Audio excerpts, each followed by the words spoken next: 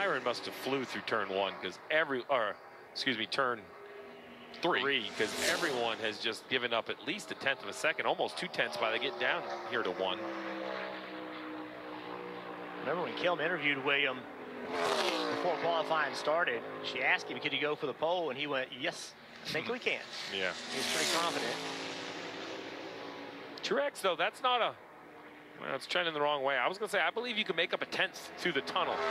I don't know if you can make up a tenth of William Byron versus how he got through there, but there's a tenth of a second available.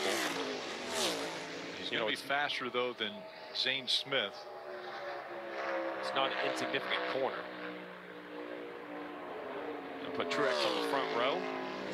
Josh Berry hands into turn one.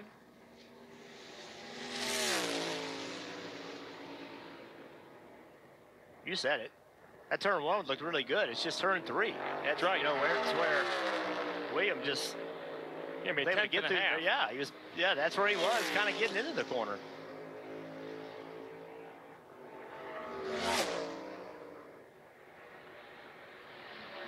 What's crazy about all that? We're talking about, wow, Meyer really beat him bad. Tenth and a half, two and a half mile racetrack. Think about that. I mean, Yeah. that's the world we live in. Yep. It's just, it's, it's just crazy. Different teams, different drivers, different engine combinations.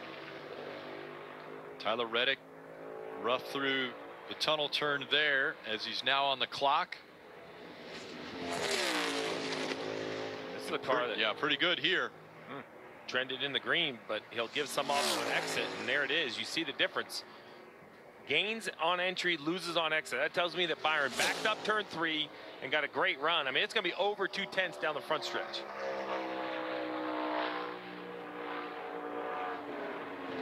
Tyler spun on lap one in practice.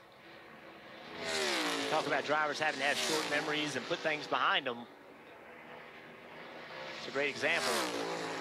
Ty Gibbs is giving himself an opportunity. He got through turn one nearly identical to William Byron. Three hundredths of a second. I'm going to call that identical on a racetrack this size. Loses a little bit down the entire front stretch. Can he find a better turn one? Gains on entry. Oh, and he's keeping the gain through the middle and on exit, Jeff. Now the tunnel turn. How do you set yourself up with these bumps? We've seen it done right. We've seen it done wrong. For the pull, William Byron watching on.